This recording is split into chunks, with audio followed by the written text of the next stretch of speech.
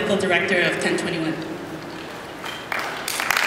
Good morning, everyone. Uh, Gabriel Haaland with uh, SEIU 1021.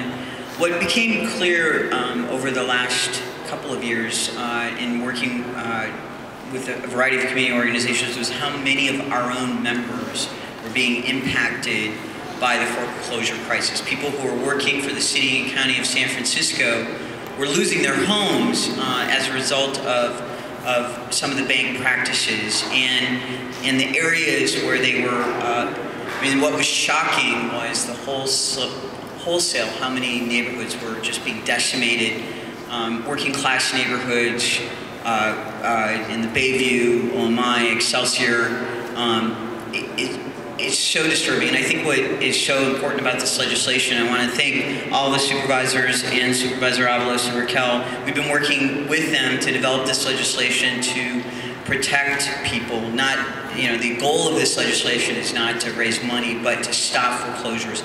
And so I, I just want to thank all the community organizations and the supervisors, and in particular uh, Supervisor Avalos for uh, their strong support for uh, keeping people in their homes, and in particular our members um, who are working people who got in over their heads and the banks, uh, you know, were, forcing them out. Uh, so thank you so much, and thank you for your leadership on this issue, and also to Assessor Phil Ting. Thank you.